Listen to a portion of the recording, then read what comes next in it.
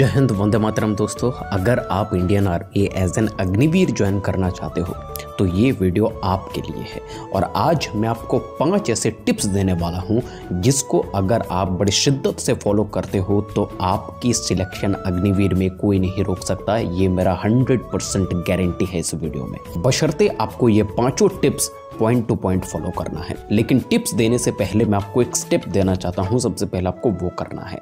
देखिए, अग्निवीर में GD Clark और ट्रेड्समैन के लिए जो है वो फॉर्म निकलता है। अब आपको सबसे पहले ये देखना है कि आप किस पर जाना चाहते हो। आपका क्वालिफिकेशन क्या है हाइट क्या है और आप फौज में क्या काम करना चाहते हो? सबसे पहले अपना गोल सिलेक्ट कीजिए कि आपको जाना किस पर है। टिप्स को फॉलो करने से पहले आपका गोल आपके सामने बिल्कुल क्लियर होना चाहिए। शुरू करते हैं टिप नंबर वन से। तैयारी जब आप करना शुरू करते हो तो सबसे पहला टिप यह है कि बिस्तर पर बैठ करके कभी भी आपको पढ़ाई नहीं करनी है। आपको एक टेबल खरीदना है। अगर आपके पास में टेबल खरीदने का पैसा नहीं है तो ज़मीन पर बैठ करके पढ़ाई करो। 200 से 400 रुपए के बीच में छोटा वाला टेबल आता है, वो खरीद लो। ये टिप नंबर वन है। टिप नंबर टू, तैयारी शुरू करने से पहले 10 दिन सिलेबस को समझो। अगर आप सही तरीके से सिलेबस को नहीं समझोगे तो आप ये नहीं जान पाओगे कि आपको क्या पढ़ना है और क्या नहीं पढ़ना है। सिलेबस को अगर आप नहीं समझते हो तो बहुत सारी ऐसी चीज़ें आप पढ़ना शुरू कर देते हो जो ज़रूरत नहीं है। आप कब लाइन से भटक जाओगे, आपको पता भी नहीं चलेगा। इसीलिए सिलेबस को सबसे पहले स्टडी करना ज़रूरी है। Tip number three. सिलेबस को जैसे ही आप स्टडी कर लेते हो, उसके बाद सिलेबस को दो हिस्सों में डिवाइड कर दीजिए।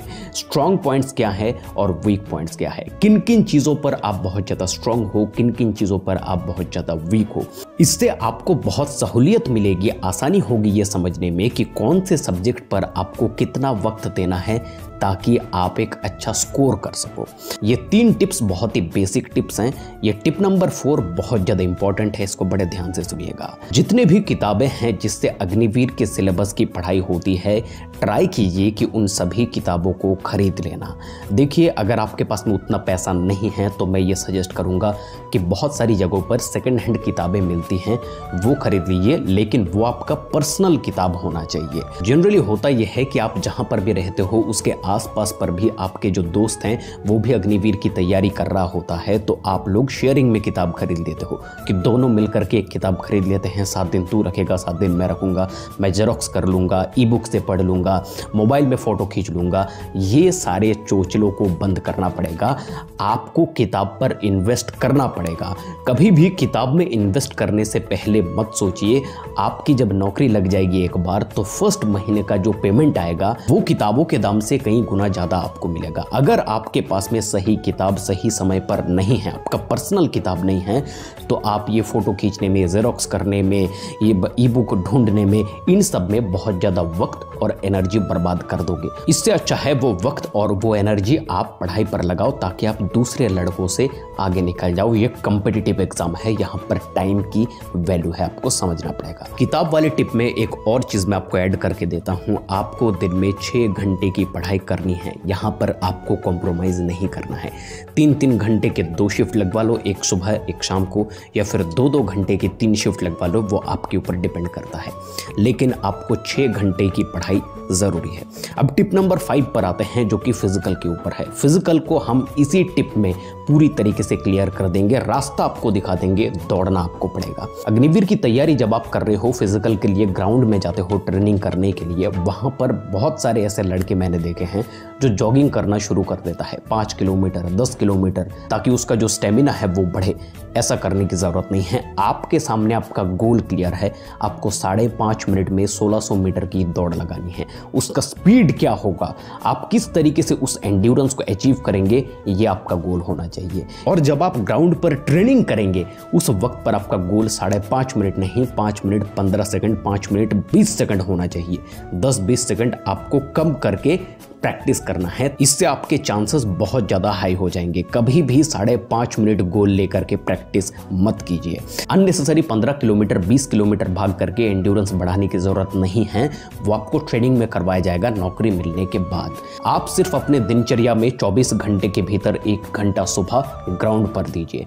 और एक बात का ध्यान रखिएगा, जब आप ग्राउंड पर रनिंग करने के लिए ट्रेनिंग करने के लिए जाते हो तो ट्रेनिंग खत्म हो जाने के बाद दोस्तों के साथ में गप्पे लड़ाना, अड्डाबाजी करना बंद करना पड़ेगा।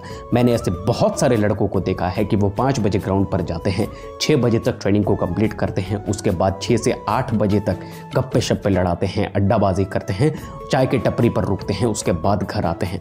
ऐसा बिल्कुल नहीं करना है। इसका मतलब हम कभी भी दोस्तों से नहीं मिलेंगे, बिल्कुल दोस्तों से मिलिएगा। मिलिएगा शाम को एक घंटा, डेढ़ घंटा, जितना आपको मन करे, जितना आपका वक्त रहे, उतना आप दोस्तों से मिल सकते हो, लेकिन छः घंटे की पढ़ाई करने के बाद। अर्ली मॉर्निंग आपके शरीर के भीतर एनर्जी बहुत ज़्यादा होता है। उस एनर्जी को गप्पे शप्पे करने में, अड्डाबाजी करने में मत वेस्ट कीजिए। उस एनर्जी को पढ़ाई पर लगाइए। ग्राउंड से आते ही फ्रेश होकर के, नहा धो करके आपको पढ़ाई के लिए बैठना है। जब आप शाम को पूरी तरीके से थक जाएँगे, उसके बाद आप दोस्तों से मिलिए। आपका रिफ्रेशमेंट भी होगा और अगले दिन के लिए आप तैयार भी रहेंगे। तो दोस्तों, ये पाँच टिप्स ऐसे थे जिसको अगर आप फॉलो कर लेते हो तो मैं आपको गारंटी के साथ में कह सकता हूँ। चाहे आप एस एस की बात कर लीजिए, अग्निवीर की बात कर लीजिए, स्टेट पुलिस की बात कर लीजिए, कांस्टेबल वाला पोस्ट, आपको रोक नहीं पाएगा कोई। अगर आप मुझसे और हेल्प चाहते हो, और गाइडेंस चाहते हो तो आप नीचे कमेंट करो हेल्प मैं इस तरीके का वीडियोस और भी ज़्यादा बनाऊँगा ताकि आपका जो नौकरी मिलने का रास्ता है, वो आसान हो सके। इसी तरीके के वीडियोस को आगे पाने के लिए चैनल को सब्सक्राइब करके बेल नोटिफिकेशन को प्रेस कर लीजिए। मिलता आप अगले वीडियो में, तब तक के लिए जय हिंद, वंदे मातरम।